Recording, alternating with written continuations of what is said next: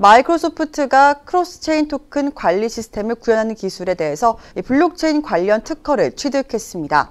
지난 2019년 2월에 미국 특허청이 출원된 해당 특허는 원장 독립 토큰의 서비스라는 이름으로 원장의 종류와 관계없이 토큰을 발행하고 또 관리할 수 있도록 설계한 시스템인데요.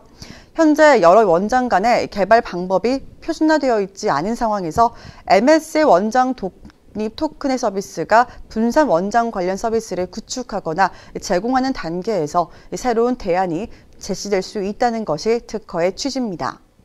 MS는 지금까지 블록체인과 암호화폐 관련 기술에 높은 관심을 보였는데요.